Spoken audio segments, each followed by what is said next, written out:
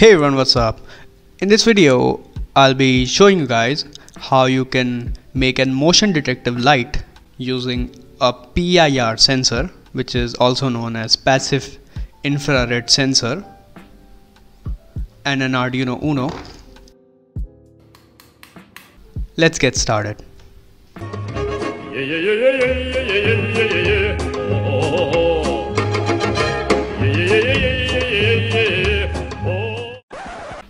The first step is to gather everything together, which is an Arduino Uno, a PIR sensor, an LED with some jumper wires, and a breadboard. Well, you don't need the breadboard for this project actually.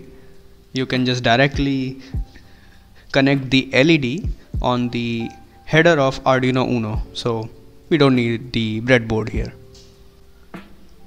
Now let's wire everything together. The PIR have three pins VCC, data out and ground. Connect the VCC to 5 volt of the Arduino, ground to well ground and the data out to pin 2.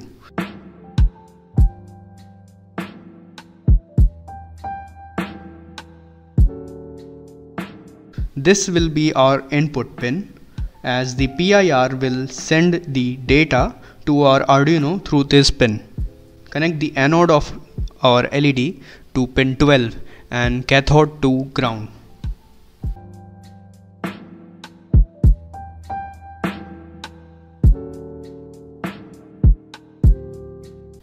Voila! You have created your own motion detection LED light setup. Now let's look at its code. The PIR will take 30 seconds to calibrate, so wait till 30 seconds. After 30 seconds, PIR will be able to detect any person or any motion in front of it.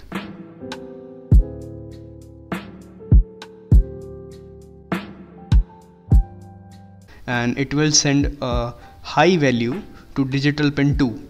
Our microcontroller will detect this value and change the state of our LED which is connected on the pin 12.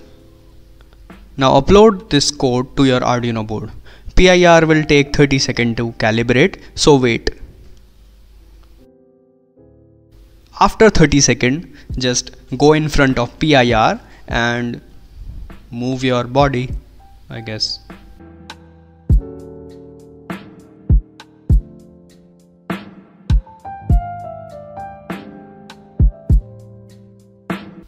PIR will detect the motion in front of its detection area and it will turn the LED which is connected on pin 12 on.